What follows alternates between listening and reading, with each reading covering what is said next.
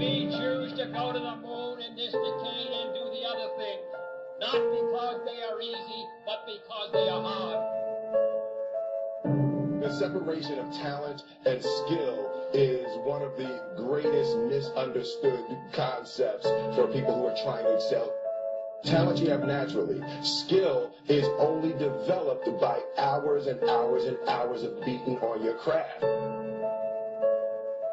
Made such a difference for the Thunder, but they still got a lot of talent with Kevin Durant and Russell Westbrook.